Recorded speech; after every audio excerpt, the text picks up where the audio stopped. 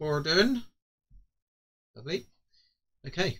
Good evening, everybody, and welcome back to Mhm. our class. So we're on um, lesson four now, uh, where we've been looking at um, lots of different insects and creepy crawlers and things. So um, obviously we've done quite a few uh, different techniques now.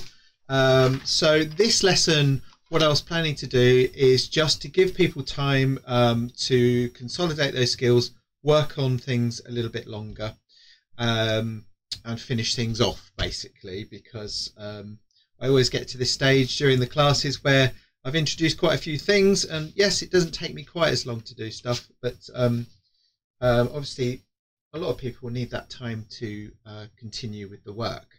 So we're going to do that today. Um, I've so what I've decided to do is work on just one thing, um, like a, a large moth picture that I found um, that's got these kind of eye shapes in it, and I'm going to work on that and try to sort of mix some of those techniques uh, together on the drawing that I do. So I'll be using um, because I'm going bigger. I'm going to use a biro pen and perhaps um, add in some watercolor and pencils alongside that. So you'll be able to see how I put those things together um, during the course of the lesson uh, again, um, and hopefully that will um, help you along with what you're doing too. Okay, so um, we'll I'll show you the moth that I'm doing. So over here we've got the moth um, that I'm going to do. Um, actually, it's a different one the photograph I've just been drawing from. But it is a moth, I promise you. This I'm going to be doing a moth this evening. This is one of them. Uh, it has these lovely um, eye sort of shapes in it, which I believe um, everyone tells me that it's to uh, deter um, predators from snapping them up. Um, so, and I, on these moths, I quite like the details. I like the the blending of the colours, and there's also some nice shapes and textures. So a very nice subject um, to work on.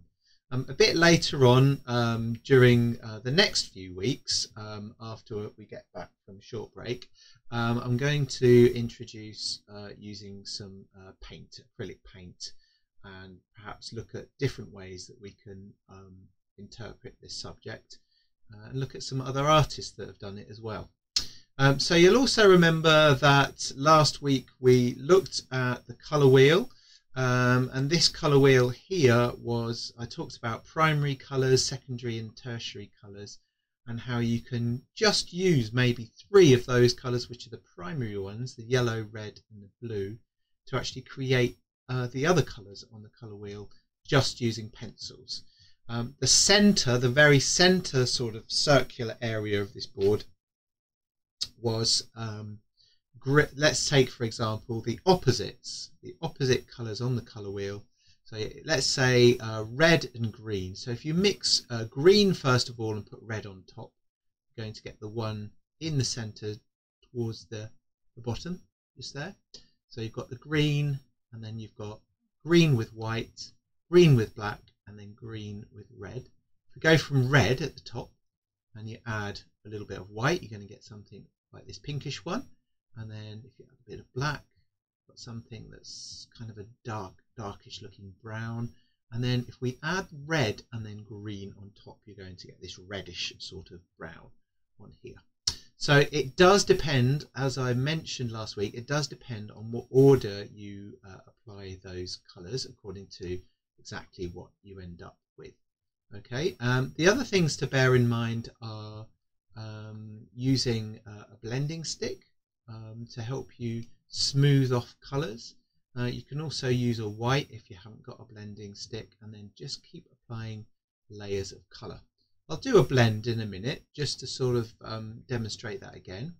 Um, but basically this is what we're working on today. So you'll remember from before um, we were do we we've been as you all know we've been um, drawing these insects arranged on a sheet of paper um, if you found it like a bit sort of tricky doing that, um, arranging that composition, it's perfectly all right just to do one or two on a sheet of paper and then trying out a different technique, uh, depending on where you are with everything.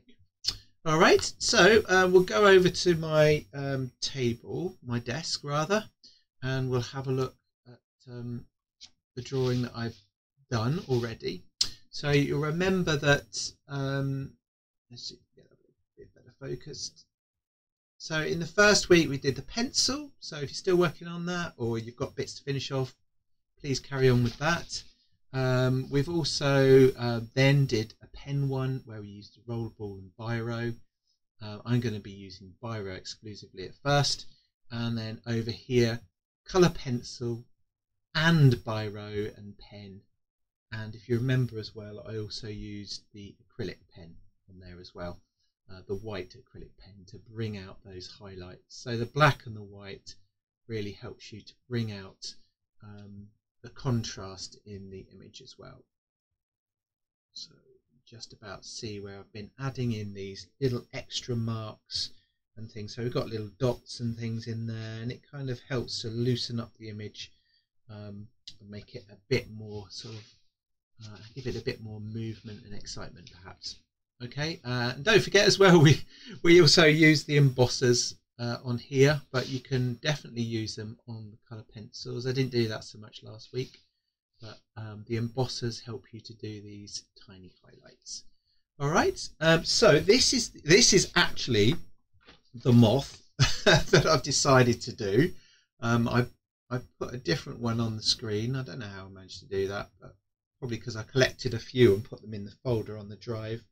Um, but I quite like this because you've got the textures on here um, and then we've got again we've got those nice eye shapes which are pretty, pretty cool and interesting. And then you've got the the hairy um, kind of body on here. So there's lots to sort of um, experiment with. Now if you're um, working from a computer or something like that um, sometimes if you're just working with black and white to begin with it's quite nice um, to get a black and white version of the photo um, because colours can be quite distracting at times um, when you're just wanting to look at the tone and shadow. Um, if you're working on it from a screen and you've got a photo on screen, you can use a filter either on your phone or um, on your computer and turn it to black and white. The easiest way to do it on the computer, if you've not done it before, is to um, is to go to print and then go to um, I think it's called printer settings and there's a bit that there's a, an option when that comes up grayscale. So you click on grayscale and it will turn it into a black and white picture like that. On your phone it's just a case of going to edit uh, and in edit there's usually an option to turn your picture black and white. Okay but that's if you need to do that you know you might not need to do that stage um, so uh, yes, I've got the wrong moth on the on the screen there, but um, I'm going to be working from this beautiful orangey moth. I quite like the other one now, actually looking at it, but I think I'll go for this one. Okay, all right. So um, now we're going to just dive in and get started um, because I think everybody's got bits and pieces uh, to get on with. Um, but if you haven't, there's plenty of photographs on the drive still that you can uh, work with. And you can also keep, if you want to as well, you could keep applying uh, stuff to your uh, composition. So you could perhaps put in some more insects or work into the background a little bit more as well. Um, I thought it'd be more useful for everybody tonight if I did a new one so you can see how um, I tackle the biro on here as well. All right. So, um, does anyone have any questions about what we're going to do this evening? No. no. Okay. And has everybody got something uh, that they're working on and happy? Um, just so I know.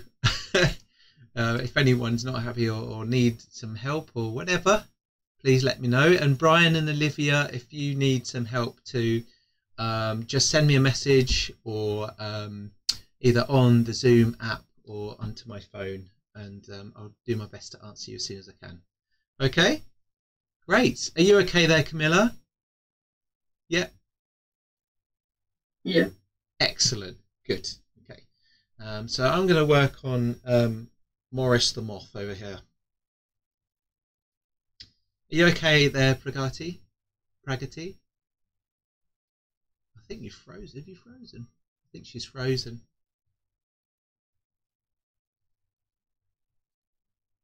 Oh yeah, she's frozen. Hopefully she'll be back in a sec.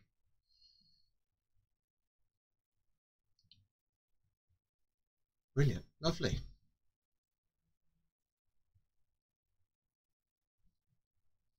So um, I've started to draw out this moth already while we were waiting for the class to start. Um, I'll just turn off these for a second, uh, these two. So you can, oops, not that one. And that beetle, there he goes.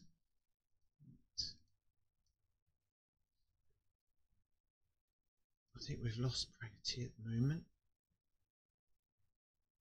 Right, oh gosh, there's the colour wheel again. There we go.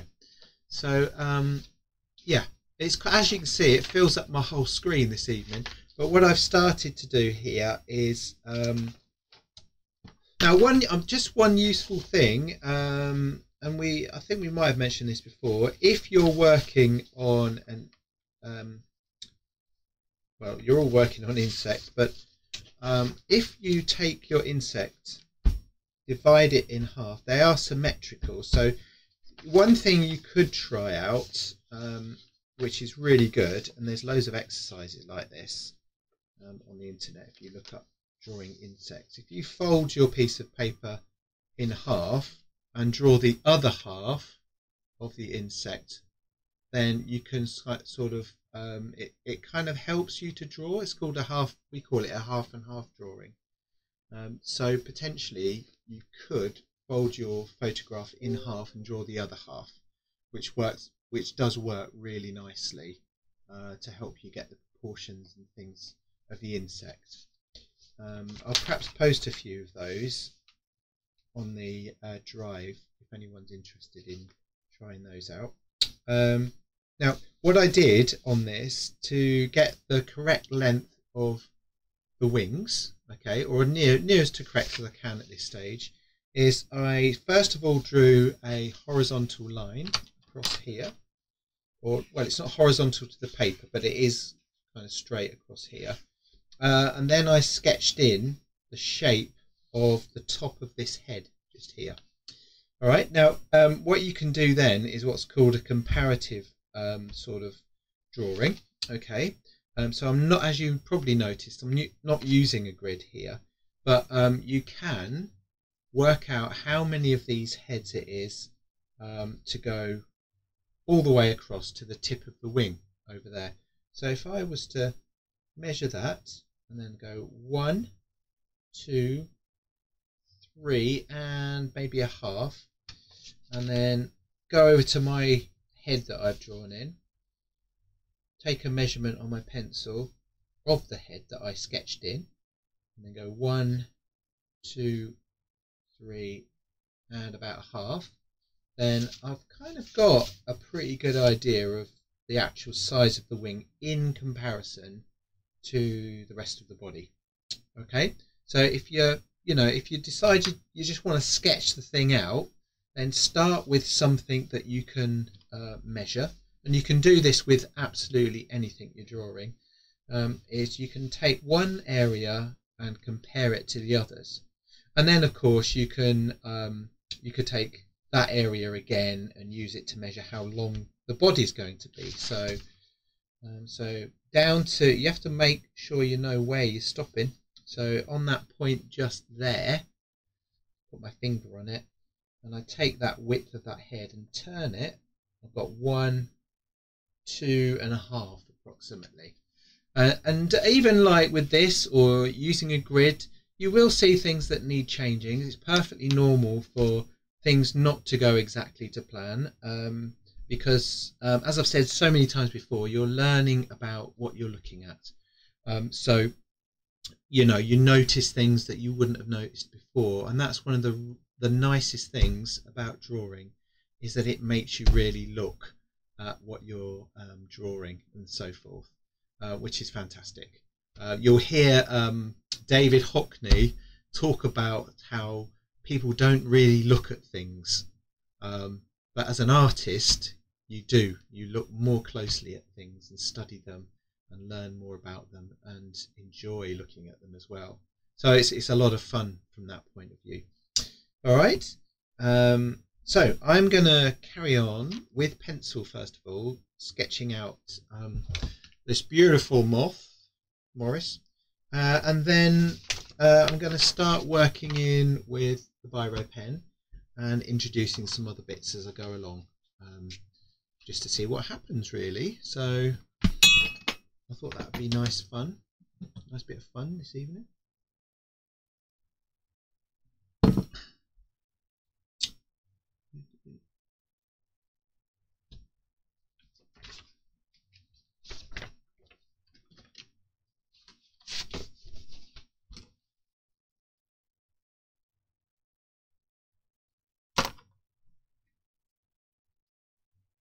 Mm-hmm.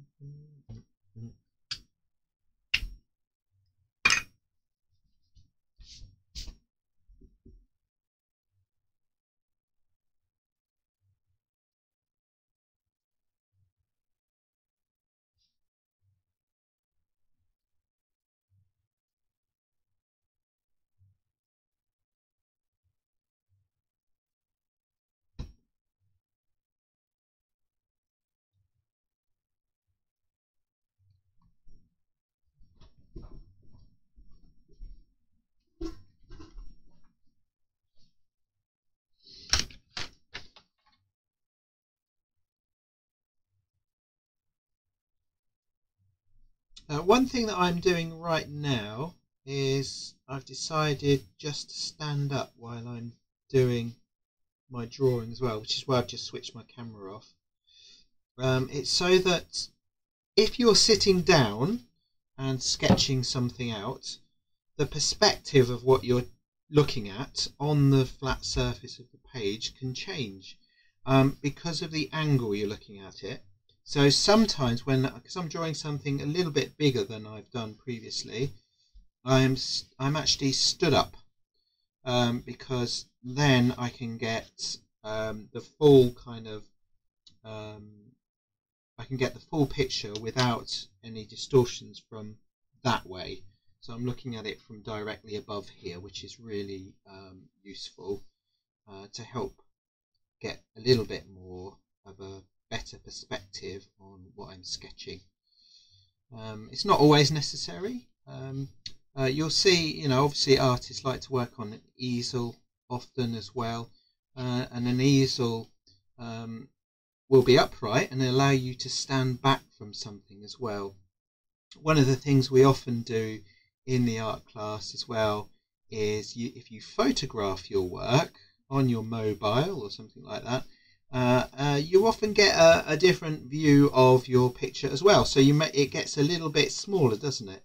And um, so many times I've heard people say, "Oh, it looks really good." Um, it looks really good on my phone. It looks better on my phone, and it's because you're looking at it from a bit further away, and it's condensed all that detail um, a little bit more as well. So um, try it out if you've not tried it out before uh, and see what you think. You know, um, you might find your drawing looks even better um, when you stood up and took a photograph of it.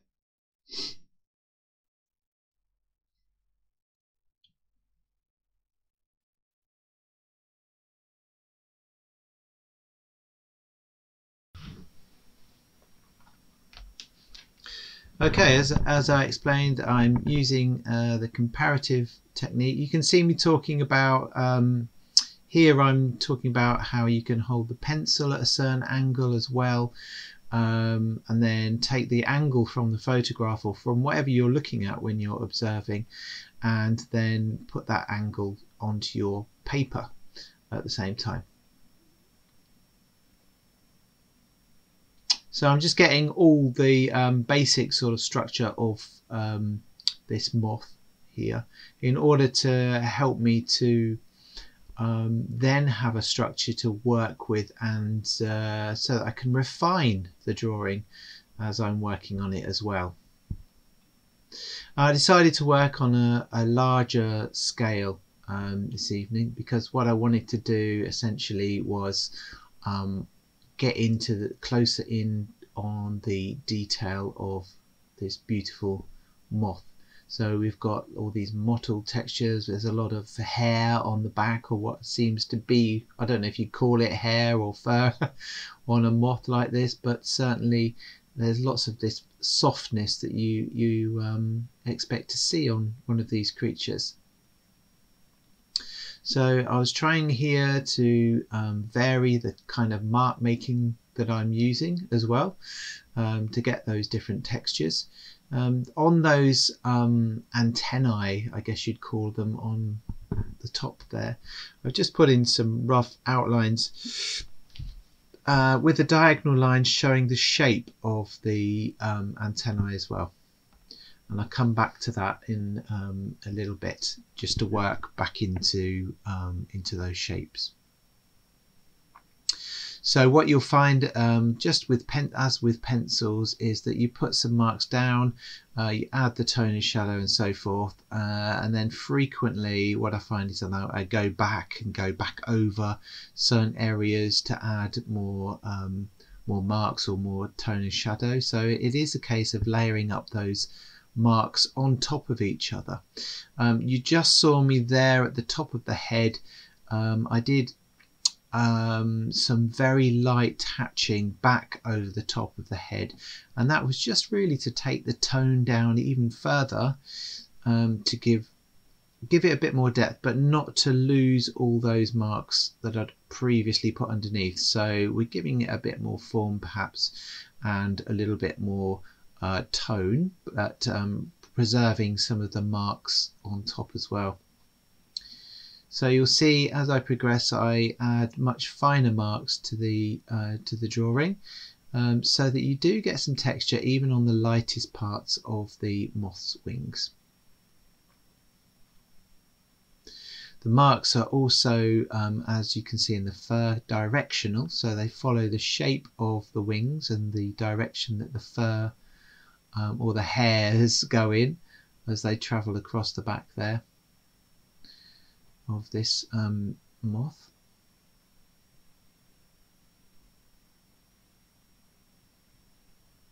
So even these circles, um, I've tried to keep the direction again of the, the fur on the uh, spots. So we know the spots around and everything, but you can um, use directional marks to get this sense that they're made of all these fine hairs even on the back there where the shapes are quite graphic in fact.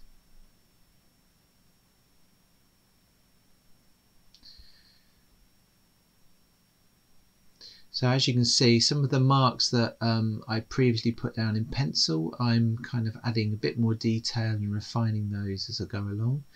Um, those curvy shapes on the down there at the bottom of the wing I'm working on now, they're also using um, hatching um, to show the shape of them.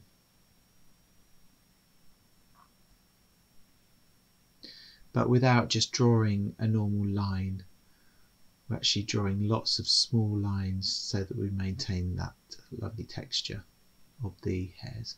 Here we've got that mottled effect and um, you, I mean you can bring in some of your own kind of ideas to the mark making here. I've done kind of a, a scumbly effect on that area you can see in the center just there and then uh, here the marks change slightly because there's kind of um, this speckly effect on that part of the wing